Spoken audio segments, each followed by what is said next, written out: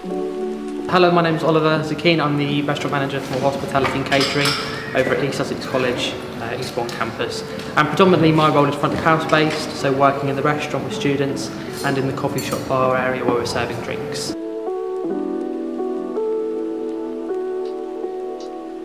Yeah, so catering and hospitality is an industry. Uh, obviously, it's an evolving industry. Stuff changes every week. Lots of new fashions and trends in the industry.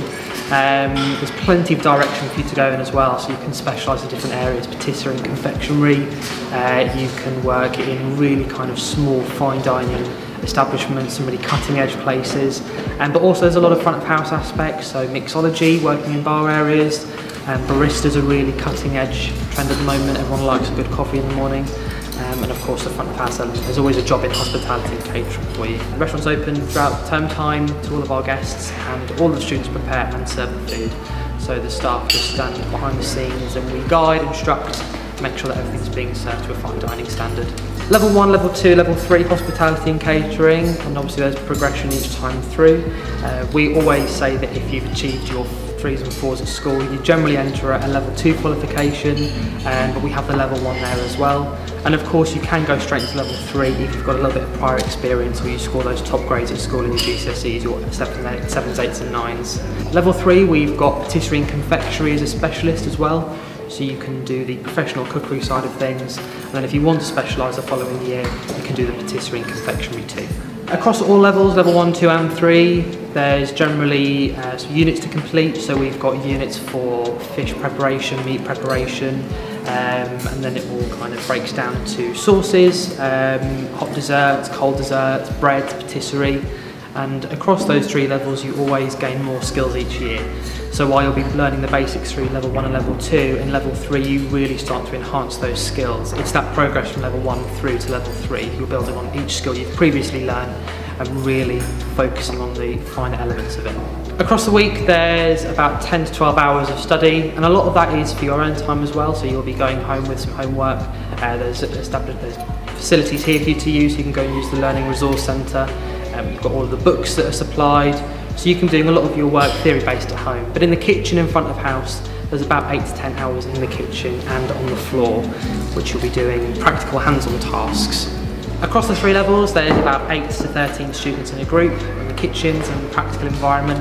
And we do sometimes break those down, so there'll be half in the kitchen while there's half working out the, uh, out the front.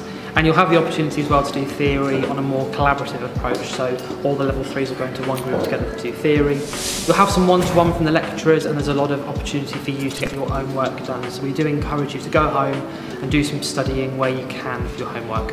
Assessments are all observations. So in practical terms, you'll be in the kitchen preparing things and we'll break it down so we'll look at for example the way you're slicing things um, if you've got too much wastage how things taste at the end.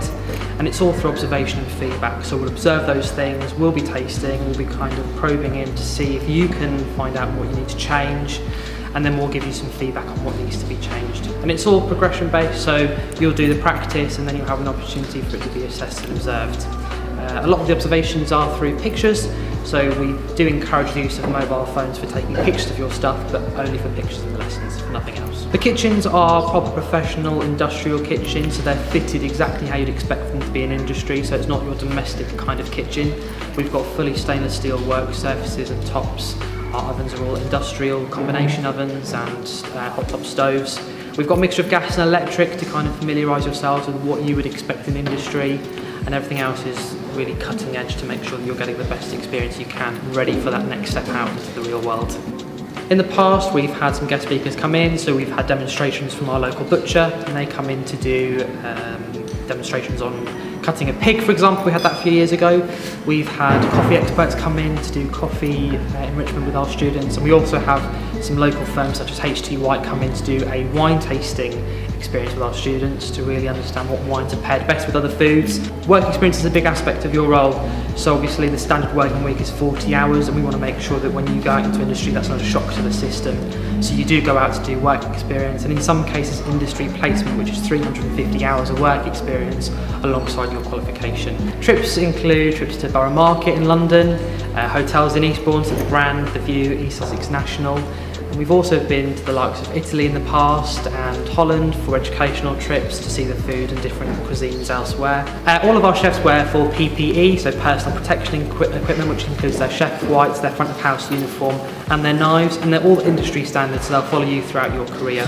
There is an additional cost at the beginning of the year, but as they follow you when you go out into work, they will be beneficial for you to use for the rest of your life. When you leave college, you can go and work in hotels. There's opportunities in restaurant kitchens, both back of house and front of house. Because we teach a lot of hospitality, there's opportunities for you in bar and barista work as well, which is a really uh, growing trend across the country. As well as that, there's also fine dining opportunities, so you can work in restaurants both back of house and front of house, providing a fine dining service along Michelin standard. Uh, upon entry to the college, threes and fours are good, but if you've got seven, eights and nines, we can look at entering you into a level three course. Otherwise, we would suggest entering at a level one or a level two. If you don't quite get the grade at school, we do have English and Maths teams here, so alongside your qualification, you'll be enrolled into English and Maths as well. We've also had a student last year that was on the MasterChef for Professionals who works in a local restaurant in Horsham and he got through to the semi-finals.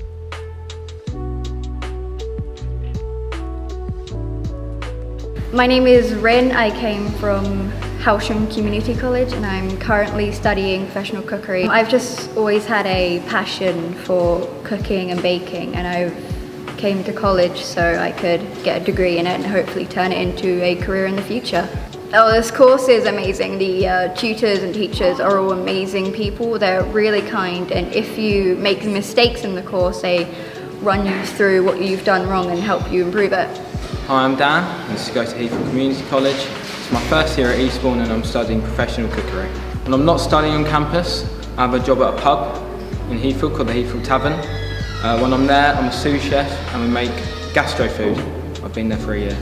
This course is really good, provides me with lots of experience, new techniques, helps me learn how the industry works. Upon completion of the course, students go on to do a wide variety of things in industry and in the last couple of years we've had students that are now working in really nice local places like Rathfinny Wine Centre and we had a student made an appearance on MasterChef Professionals recently. The restaurant is open uh, during term time to the public every day apart from Tuesday for lunches and we also do themed events in the evenings, afternoon teas and Christmas functions and that gives our students a real opportunity to understand and learn in an environment that's safe to how we provide a service, how we prepare the food and how it's served. There's always a market for food and drink um, across the country and internationally as well. So getting into hospitality and catering now is a really good idea. Everyone always likes to go out for a nice meal, so it's a good opportunity to start somewhere.